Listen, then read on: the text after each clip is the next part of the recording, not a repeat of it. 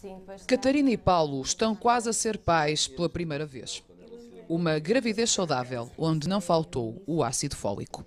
Durante esses seis meses previamente à gravidez e depois durante a gravidez Durante- até que a idade gestacional, recorda-se? Até aos 4 meses, mais ou menos. Um reforço de vitamina B fundamental ao desenvolvimento também do feto. Tudo o que é a constituição do organismo, falando grosseiro, depende das proteínas. Essas proteínas e principalmente os aminoácidos essenciais. E o ácido fólico é determinante nesse domínio, não é? O problema é que este suplemento é dado em doses excessivas. O recomendado pelas autoridades de saúde mundiais são 0,4 mg por dia, mas aos hospitais portugueses chegam comprimidos de 5, 12 vezes mais que a dose indicada. O mesmo acontece nas farmácias, onde as grávidas aviam as receitas dos médicos de família.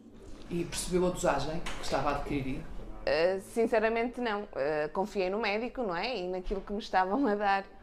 Uma sobredosagem durante a gravidez que pode afinal aumentar o risco de diabetes e obesidade nas crianças, um indicador de alerta do estudo da Faculdade de Medicina do Porto. Às vezes há um bocadinho a noção de talvez quanto mais melhor e a questão é que pode não ser assim. No modelo animal mostrou induzir uma série de manifestações metabólicas que se parecem muito com a diabetes, que estão muito alinhadas com a diabetes tipo 2 que são eh, aumento de peso, eh, resistência à insulina, Não vamos de um momento para o outro deixar de fazer ácido fólico.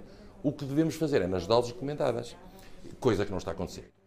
O estudo desenvolvido nos últimos três anos foi agora publicado no Jornal Internacional de Endocrinologia.